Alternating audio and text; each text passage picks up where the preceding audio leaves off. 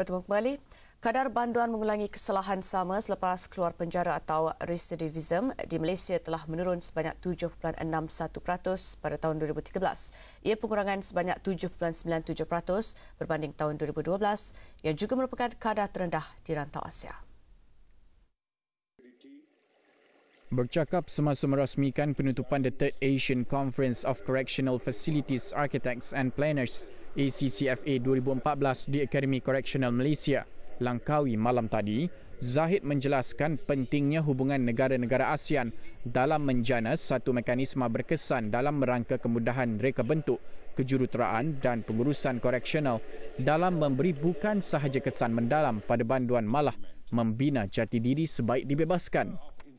Zahid juga yakin dengan pelaksanaan resolusi berkonsepkan healthy prison dalam penjara Malaysia dapat menurunkan lagi kadar recidivism.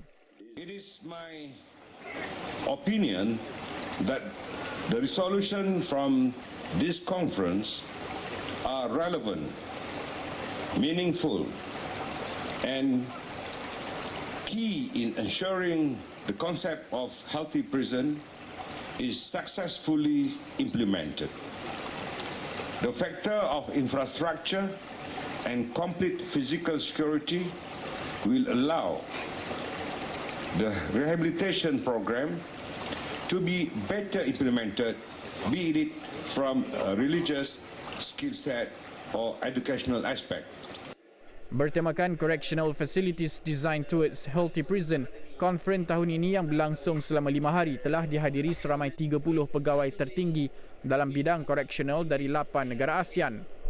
ACCFA membolehkan peserta berbincang isu-isu pengurusan penjara yang terdiri dari kemudahan infrastruktur, reka bentuk penjara, security, pembaik pulihan fasiliti dan program pengurusan domestik penjara.